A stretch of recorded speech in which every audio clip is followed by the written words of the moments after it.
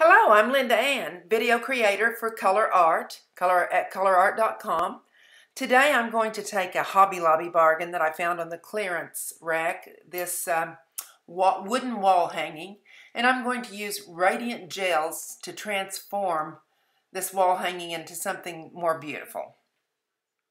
Little storage tip here, I store my ColourArte products on Lazy Susans, and that way I can stack them all up when I get finished. Um, I store these upside down so I can see the names of the colors. If I make sure each rack is setting on top of each other squarely, I can store about four to five racks high and pull out what I need. I like that this uh, wall hanging already has the hanger on it. Everything's going to be ready to go when I finish painting. I began with olive vine on this and then realized, what am I thinking? I really need to cover up the white before I start putting any colors on it. So I took some just regular acrylic black flat paint, uh, the most inexpensive kind that I could find, and brushed it on top of that uh, ampersand sign to make it disappear into the background. I don't want to have to compete with that and put so many layers on. I want my layers of shimmering paint to show up. And I love working with ColourArte over black. When I'm all finished, I'll set this aside to dry. All of the shiny has disappeared and I'm ready to begin painting with my Radiant Gels. Here's a fun color. It's called Copper Pearl and it looks white in the bottle. Uh, there's all the pearl colors look rather whitish in the container, but watch what happens when I begin painting. It appears to go on white, but as it begins to dry, the copper uh, the copper color surfaces more and more and more. And when this is like totally dry, you're going to see a nice little coppery finish here. I'm just scattering little rectangles of color all over the uh, surface of this board, here and there, and I connected one of them. I don't think it really matters at this stage because this is the first layer, and I'm going to be doing a whole lot more layers. I'm just about out of this next color. It's called Indian Copper, and I use a lot of this. Uh, you can see that it's darker than the first cop copper, and the first copper is still drying. So these will go even uh, more brilliant and more shimmery as I go. And I'm going in between the other paints, making more rectangles. Eventually this whole board will be covered in very small rectangles because anywhere that I have a large rectangle, I will be going over it with other paints. On the next color I'm using is Emperor's Gold.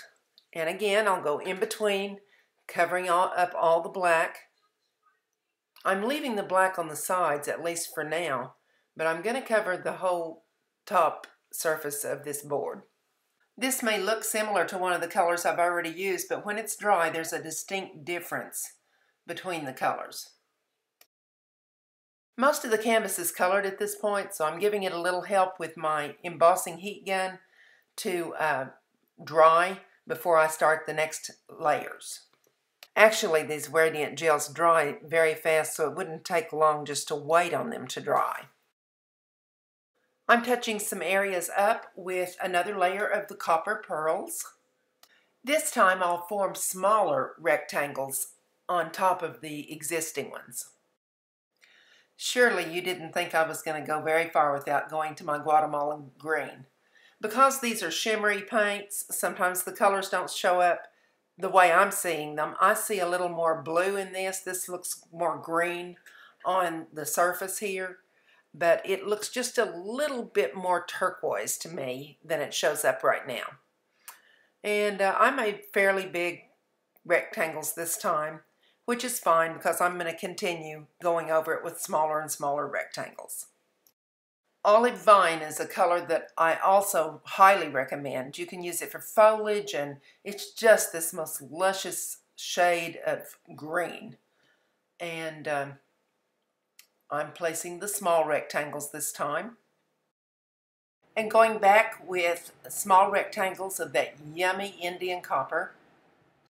At this point I've changed to a smaller brush and I'm dabbing on really small uh, rectangles of Vavoom Red.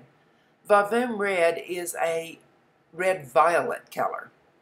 And since I'm just working up the background, it's giving me just a little bit of uh, variation in the background. I'll continue layering the colors that I have already used with a smaller and smaller stroke until I create an impressionistic type of background. As pretty as this is becoming, uh, it's very tempting just to leave it like this to hang on the wall, but I have other ideas for it. This is an acrylic sealer that I stored in a jar. I had a really large container of this, and I stored it in this jar to make it easier to pour.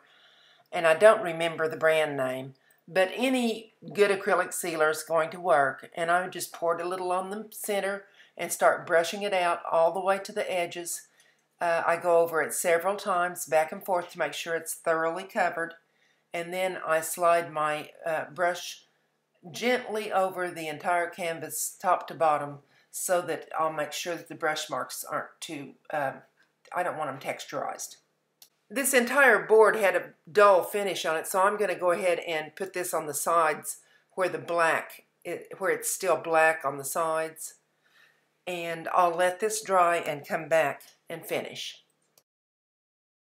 I actually waited till the next morning to start uh, finishing this, so it's thoroughly dry, and that's a good thing.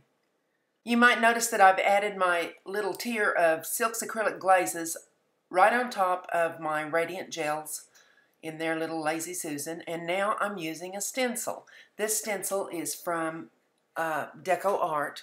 I need to be sure that my hanger is in the right direction, so I want that at the top, and I'll place the stencil on. But when I get to the stencil, I realize that I've I've got a problem. This is not the way I wanted it. I wanted the tree to be dark and the background to remain light. So my tree and my background are completely reversed. I've got to figure out what to do. But there's always a solution. So don't get discouraged when things don't turn out like you think they ought to. And my solution was to go to the Silks Acrylic Glazes and I'm going to choose the black color and I'm going to spread this on my canvas really quickly. Now I started with it just a little bit watered down and realized that that was not working very well. It wasn't covering quite as much as I wanted to cover. I don't care if it covers everything, but I want it to cover up most of the background. I know that silks are a soft acrylic, so I know they can be moved later, but I want to remove a lot of them through this uh, stencil. And you see, it will remain black behind the tree if I put this on. And will it pick up some paint and remove, stick to the stencil? Yes, it probably will. And I think that's going to be a good thing because I want it to kind of sparkle. So I'm going to use my baby wipes and I will just start wiping away the exposed areas uh, around the tree. And you see, that's going to leave the tree dark. So this is what I was hoping for. I wanted a silhouette against a lighter background. This is working and it's coming off very easy with the baby wipe. It's still wet. And because it is a soft acrylic, uh, that means that it's movable when it gets wet. But as I said, I wanted to remove almost all of it. So I continue to work, pulling away all of that paint. And sometimes I have to stop and change baby wipes. Get a clean one and I just continue wiping it away. And you know what? There are parts of this tree that I'm not really crazy about the stencil design on, so I'm actually going to fix that when I lift the stencil. But let's see what it looks like. Just a few more cleanup areas and we'll pull the stencil off and see what happened. Oh, I am liking this. I'll take the stencil to the sink and clean it up. If you don't have a sink in your studio, I suggest that you have a pan of water by you so you can just dip these and continue to work. If you keep them wet, then there's no problem. And we can continue to work here now. So I'm going to wipe away some of the areas that I don't like and fix those areas and I'm going to come back uh, with some paint on a paintbrush to fix it. This is blobby looking to me. I didn't like that area. So I took that out and uh, I can come back and fix it with a paintbrush and shadow in just a little bit of the tree if it's not quite as dark as I want it in places. And that's all there is to it.